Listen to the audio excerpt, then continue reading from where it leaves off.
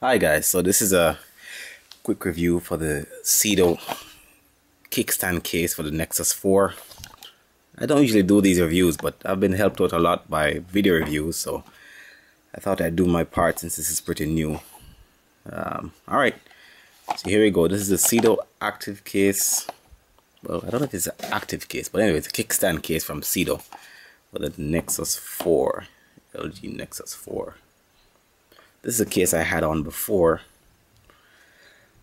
This is the regular TPU case. Actually did me a, uh, did well for the short time I had it. Alright, so open the box. It's a nice little box here. It's a kickstand case. I'm not really good at this kind of thing, but anyways, so here we go.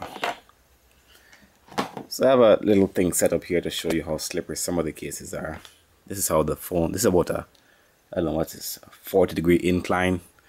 This is how the phone slides without any case on it. You can see that, do it again. Alrighty, this is with a TPU case. Let's put that on here. This is a case I had before I bought the kickstand case from Seidio. Alright, here we go. See? So it has a nice natural friction preventing it from slipping too much. I think that's good enough. Hopefully the kickstand case is just as good. Alright, so let's slip this on. So, feels really nice. I don't know how to describe the texture to you. But it's, it's not a rubbery kind of feel, but it feels like uh, it should provide enough friction in your hand. It shouldn't slip that easily. There's a kickstand back here. Has some play. I don't know if you could see that. See that there? Some play on it. But with, with care, it should last a long time. Snaps into place here. Comes out. It's spring loaded, you could see it.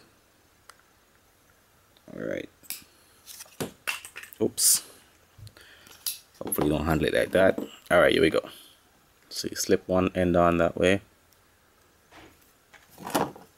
Other end on this way. It snaps into place. Good. I think it feels really good. I don't intend to have this phone for a long while, so hopefully the phone lasts me a good time. One concern I have though, if you happen to have a, a, a screen protector on your phone, mine's smudge, you know, I'm getting a new one soon it is possible that if it's it's not cut exactly to the edge of the phone the case might actually cause some ripple effect to the corner. But that might just be because I didn't put mine on correctly. So that's a minor thing anyways. So first thing we're going to do is put it on the same incline. See if it slips. Nope. So it's good enough for me I must admit though, the, the TPU case has one advantage. It has the grips on the side. It Makes me feel that the phone is more secure in my hand than the, the Seidio case, which has no grip. But it does have the cutout, so I mean, if your fingers are pretty much locked in here, then you should be alright. So, you know. Alright, guys, that's it. I think it's a pretty good case. I'm happy with it. Hopefully, it lasts a very long time as long as I intend to keep this phone. All right. All the best. Take care.